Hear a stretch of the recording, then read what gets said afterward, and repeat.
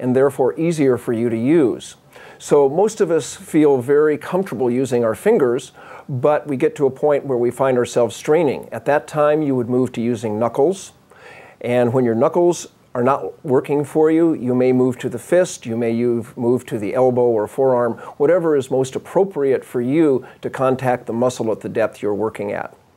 So I'm going to start by talking a little bit about the fingers. The biggest problem I see with people on fingers is that they have their fingers hyperextended and they push directly down into tissue. So they're working too hard, and this is going to have sort of a pokey feeling that's not going to feel good.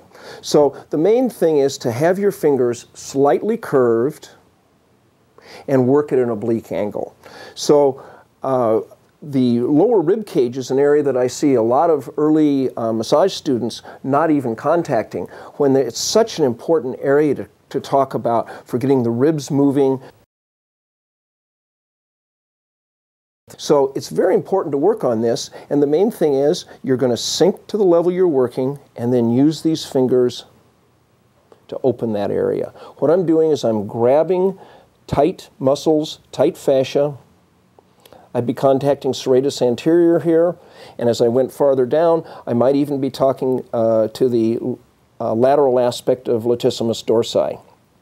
This work feels wonderful to, to clients. And very often when people come to me, and the first time I start working on here, uh, they've never had work like this before. And this is what you want to do in your practice. You want to be able to do work that is new to your clients that's going to expand the way they look at their body rather than just squeezing tissue. The fingers are an excellent tool for working on the lower part of the rib cage where the diaphragm attaches a lot of people are very constricted here, and particularly people that do many, many sit ups and abdominal crunches. And all you need to do is with nice, soft hands, just slide right down to the ribs, being careful, of course, that the liver is right down here. You're not going to be going too deep, and just start working with the breath. We'll go into much more detail in working with the breath and abdomen in later tapes. But for now, you can certainly start practicing by following along this costal arch here and giving some length so that when people breathe, their ribs can move up. I'm now going to move to the top part of the rib cage around the clavicle, and we'll talk about some other ways to work with postural issues there.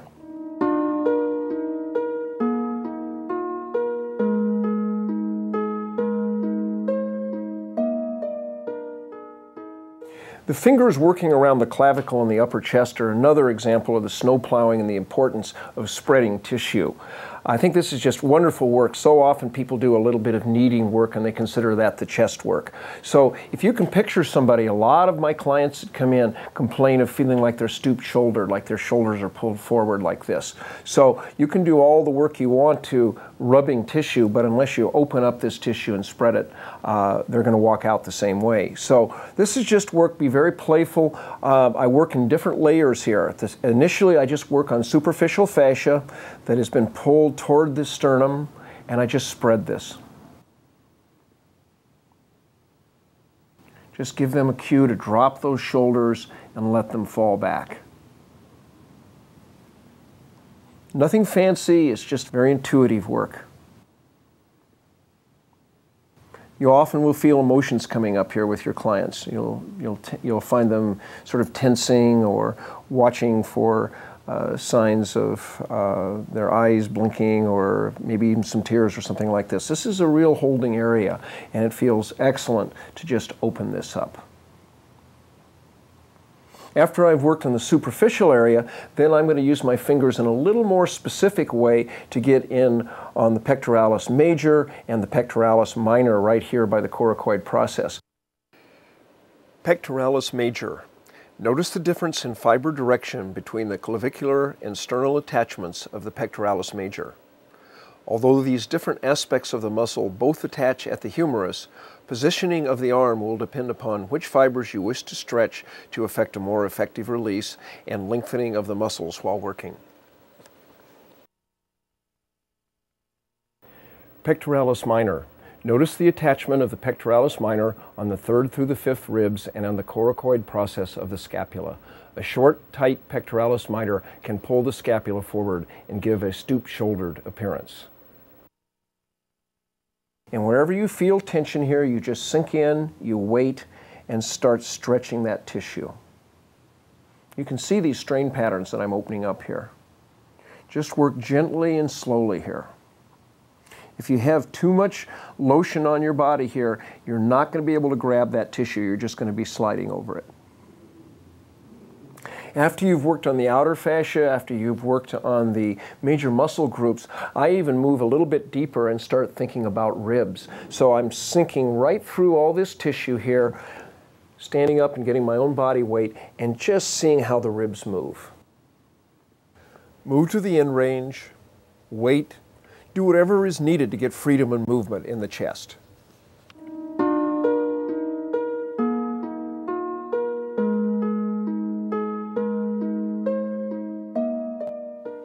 The elbow is another area that the fingers really can get a lot of good work done on. I think of all the spots on the body that are fairly accessible uh, in early massage training, the elbow is the most underworked. Uh, incredible tension can be held in the elbow, which transmits up to the shoulder and to the neck. So I'll do a bit of work with my fingers to demonstrate the idea of working with specific muscles or with broad fascial sheets to improve the function of a joint. To work with rotation, to decompress the joint, so I'm just going to start with the biceps. You can see the broad hold I have, and I just lengthen and stretch the biceps. We'll talk about lengthening and other types of strokes later, but what I'm doing is anchoring her biceps and then extending her arm away from that anchor to get some length in the biceps.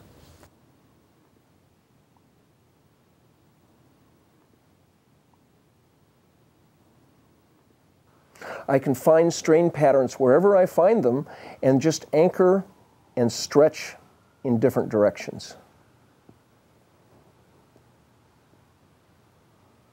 In class, we often demonstrate this and have the students stand up, the models stand up after the uh, example, and it's extremely obvious. The whole shoulder will let down, and there'll be a tremendous feeling of relaxation on the whole right side after doing some work on just one side.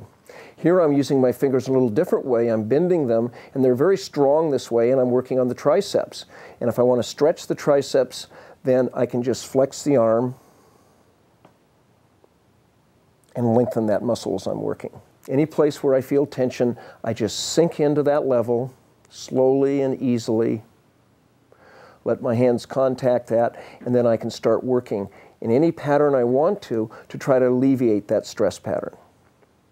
This is so much more functional than just squeezing tissue.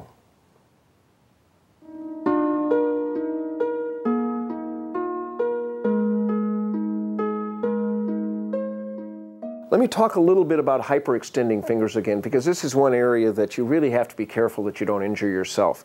Uh, the fingers are such a good tool, but when you see your hand with the fingers hyperextending, and mine are not all that flexible, but I see some people that are like my little finger here that go like this, then basically you don't want to be using your fingers for deep work. That's why you move upstream to using your knuckles, your fist, your forearm, or your elbow. But they are a wonderful tool, particularly for an area that's very sensitive, like like the IT band here. So all runners, tennis players, most athletes are going to need a lot of work on their IT band, and the fingers are the great way to do it. You can move it around, you can rotate it around that femur, you can stretch it one way or another. So the fingers are a great tool there, but do not hyperextend them. One of the things you can do when your fingers start hyperextending, you should have them at a nicely even curve here, not too much where they're going to feel sharp, but about like this. And when they start going, all you need to do is go back to that neutral position and take your other hand and put it on top. And then between both hands, you should be able to have a nice soft touch. You can have that bend of the fingers, and it'll be much easier and more accessible, and you can get a lot more work done.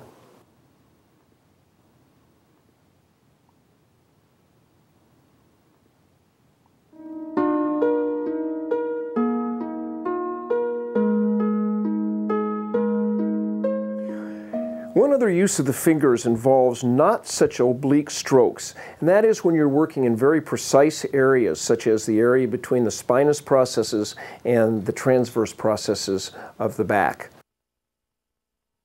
Intervertebral muscles. When people complain of back pain, most often the short crisscrossing muscles that connect individual vertebrae are the cause. Spasmed and short intervertebral muscles may fixate vertebrae or cause rotational problems. Be sure to palpate and work through large superficial muscles in this area between the spinous and transverse processes of the vertebrae. So on this one, I'm actually coming in at a pretty straight angle, but not so straight that my fingernails are going to be a factor. So I've got about 15 degrees off a total vertical, which would be like this.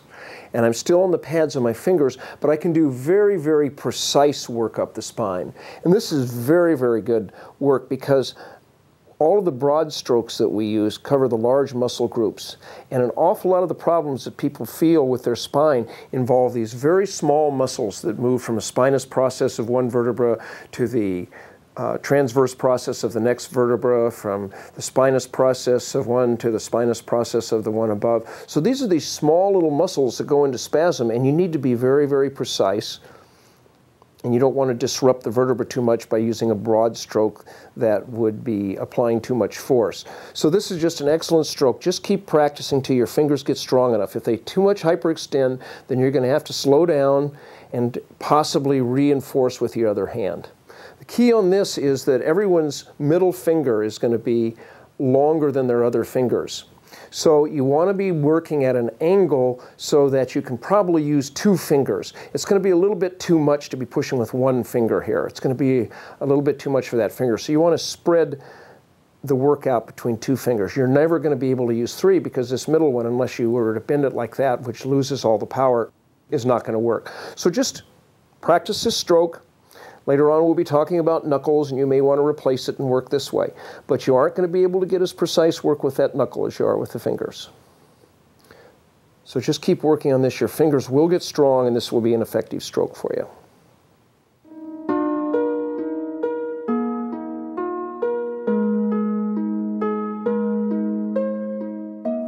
Before progressing on from the fingers up to the knuckles, fist, elbow, and forearm, I'd like to talk a little bit about the thumbs. One of the saddest things I've seen uh, in my massage teaching are people that have to change professions because they've worn their thumbs out. They've gotten arthritis or severe tendonitis. And the thumbs are a wonderful tool for all this kneading that we do. They're very, very sensitive. They have a nice, soft, fleshy surface, and they're a wonderful tool.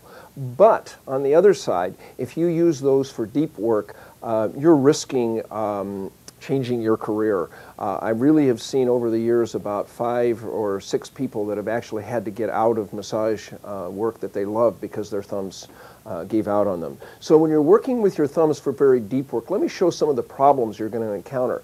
I've seen a lot of people really digging in and snow plowing or forcing with thumb. You can see the strain here.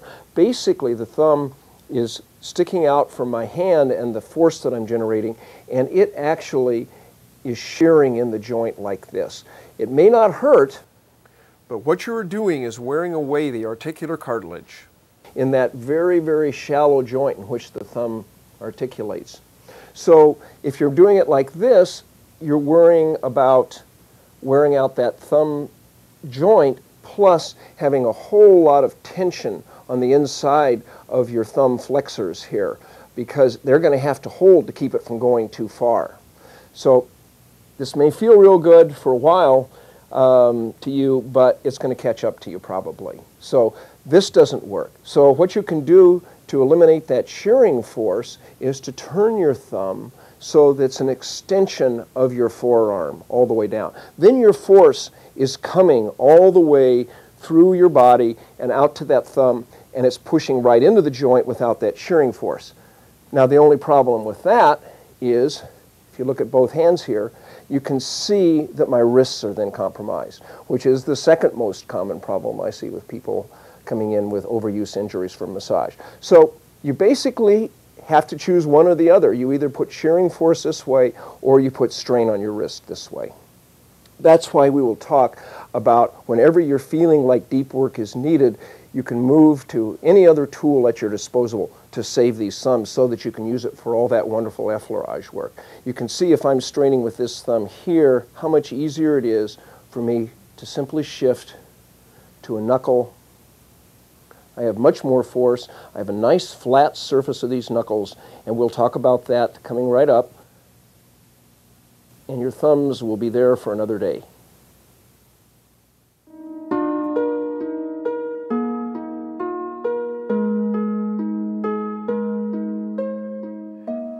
The next tool we will cover upstream from the fingers is the knuckles. And they are a wonderful tool to save your thumbs. So I want to uh, talk a little bit about how you can use the knuckles in areas that you would be using your thumbs. The main point I want to get across with the knuckles is that they are an extension of your metacarpal bones. As soon as you start bending your, your hand into a fist shape, you lose all your power. So the important thing with the knuckles is to keep them in a straight line, and you can do anything with them that you could do with fingers or with your thumbs. They're a very versatile tool. You can use the bony part to do very, very specific work, or you can use the nice flat area to get a little larger surface area and it feels much more nurturing. So it just depends what you're trying to accomplish.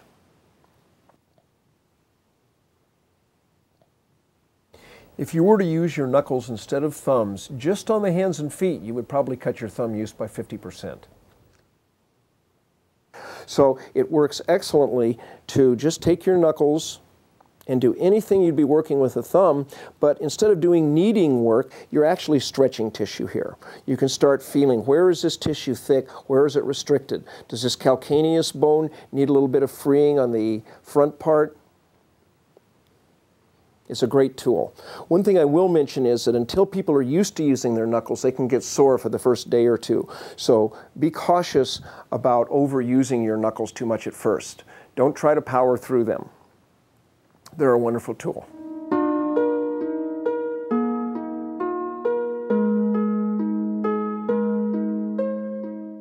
The knuckles are just about the perfect tool to use for the palm of the hand. Uh, it's easy to see that with me standing fairly far above here, all of my effort and energy is coming just from gravity. I'm putting next to no effort into this and I can work very, very deeply.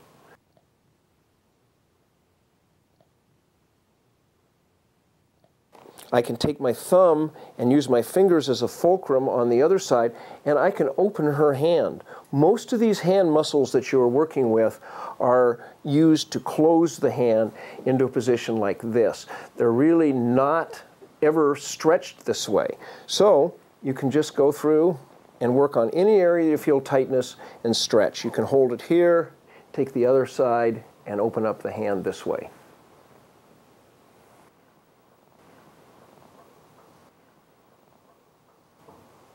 This would be somewhat similar to the old trick that most people learn in uh, beginning massage classes of taking your hands here and opening this, but you can see how much strain there is in the thumbs here and that your wrists are not in a perfectly neutral position. So you can do just the same thing this way and accomplish a lot more.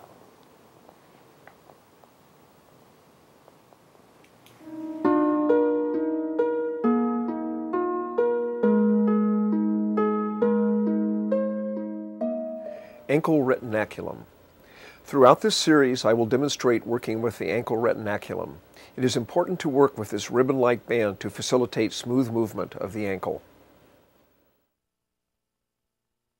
In the supine position, the knuckles are also very useful in working on the front of the ankle, the retinaculum which wraps around the ankle, and on the tibialis anterior. We'll be going into much more detail later about this, but I want to demonstrate a little bit about mechanics here. So all you need to do is use the soft part of your knuckles because this is a fairly bony area here, and you can do many things to just free this ankle up. I can work on plantar flexion here, most people have sprained their ankle sometime in their life and have a lot of holding patterns here. You can test to see how the foot moves out, how it moves in from in, inversion and eversion, plantar flexion and dorsiflexion. And whenever you feel restrictions, just use a nice soft knuckle, use the flat, soft fleshy area there, and free those adhesions. It's a great tool to work up the tibia Tibialis anterior here can get very, very tight. and you just work your way up. We'll go into more detail about this later, but you can do anything you would be using with thumbs. You can turn, get a kneading stroke,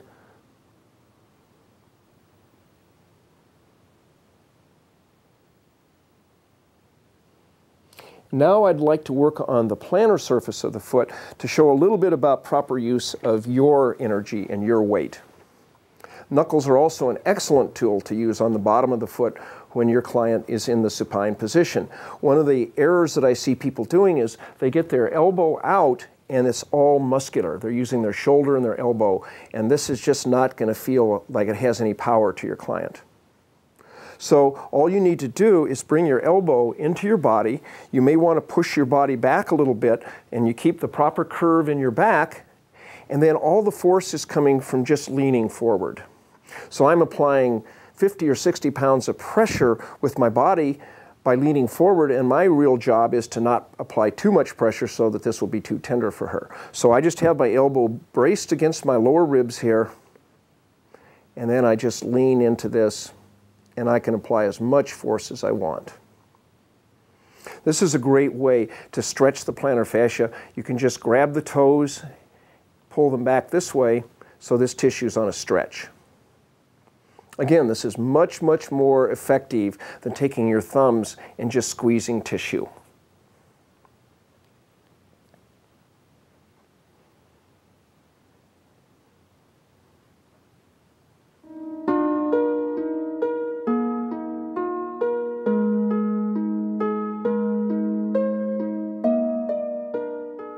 What I call the spinal groove, the area between the transverse processes and the spinous processes of the spine, uh, is a great place to show proper use of the knuckles.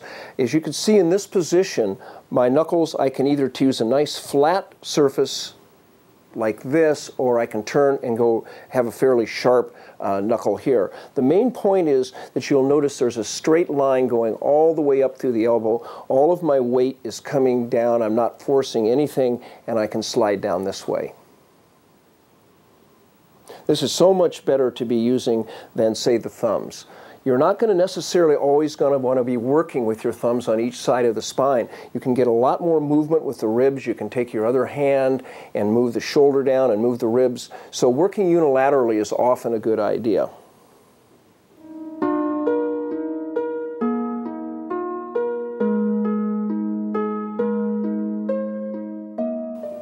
I want to show a couple of the ways that I see people misusing the knuckles, and that is that they instead of turning your palm out toward the outside where everything's in a straight line, I'll see people turning their hand this way with the palm up, almost like what you'd be doing with the fist. When you use the fist, it's very stable to have the palm up here. But when you get up to the knuckles, your hand is going to collapse and your wrist is very vulnerable. So I'll see people with their, with their knuckles like this and their wrist is very vulnerable and it's going to collapse here. So you just don't have any power.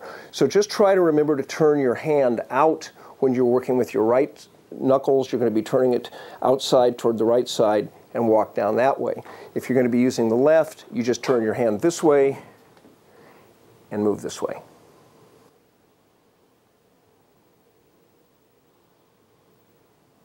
The other error that I see people using with the knuckles is they'll get two knuckles here and then they'll collapse again. So they'll lose the angle right here between the fingers and the metacarpal bones and they'll give way here, and there's a lot of strain right here. So you want to be sure when you're working with the knuckles that you've got it straight so everything's going in a line.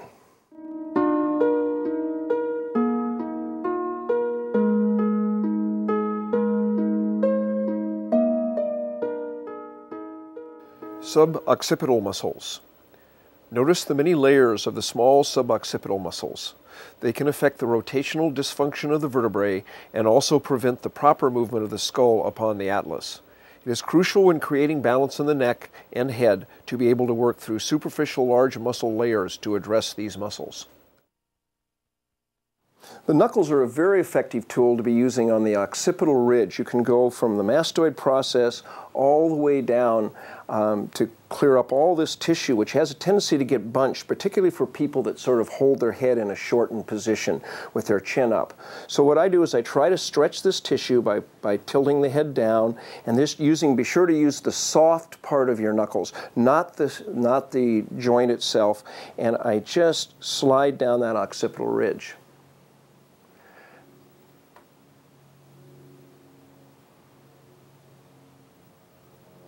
You can even do some rotating strokes as you get in here. You can sort of turn your knuckle.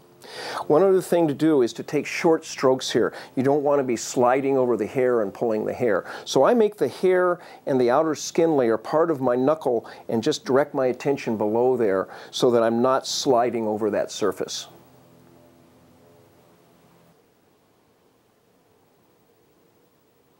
The knuckles are a much more effective and useful tool than a lot of people realize.